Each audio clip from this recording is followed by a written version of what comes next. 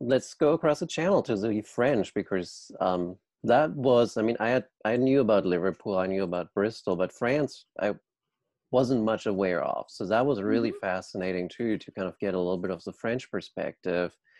And you have uh, Nantes and Bordeaux as the two locations where museums did embrace. And you, you had like, I think one or two pictures from the inside, and it looked like these, um, the displays, the ex- exhibits were um, very modern looking, very mm-hmm. kind of mm-hmm. um, innovative in their design. So, mm-hmm. in part, I'm kind of like curious if you could talk a little bit about, first of all, the story, but also kind of the way it is displayed um, in these museums with regard to slavery and the slave trade. Mm-hmm. Well, let's see. Um, if we start with Nantes, that is perhaps the city that it was the largest um, uh, slave trading port in France.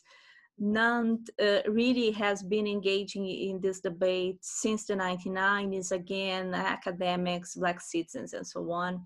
Uh, and there is this uh, castle uh, that uh, is a Nantes History Museum, and this uh, is a huge, imposing uh, building uh, then, uh, that has been there, then of course, for for centuries.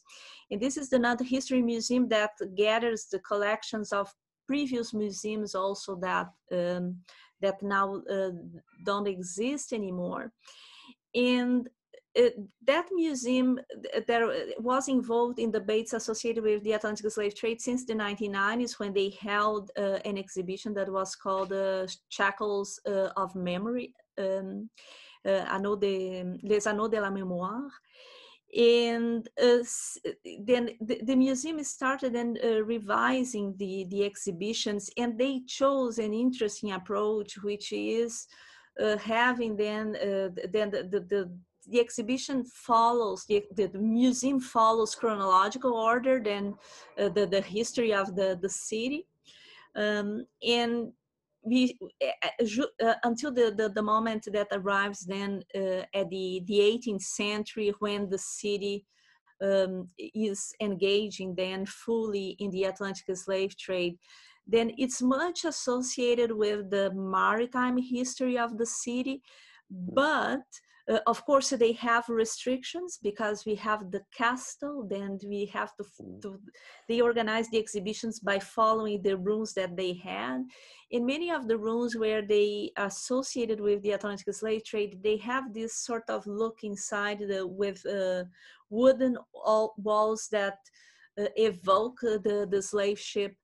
Uh, but they did an interesting job because they have all these collections that belonged to slave merchants in the city. Then we have these uh, luxurious uh, objects, uh, then a lot of silver, a lot of uh, china, mm. tapestries, artworks, and also maps and documents and all these things because they have an interesting collection of documents as well.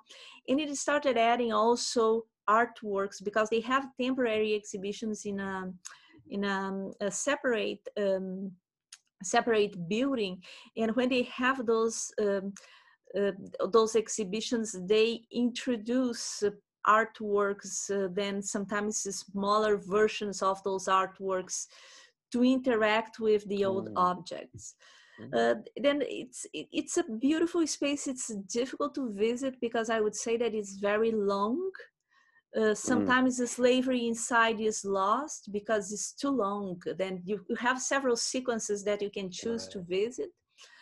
Um, but I would say that it's then that is an impressive museum, and I would say that the fact that their collections are very rich collections from the point of view of slave merchants and the slave owners right. then it's all the uh, instruments of punishment and so on that they they have there Hmm.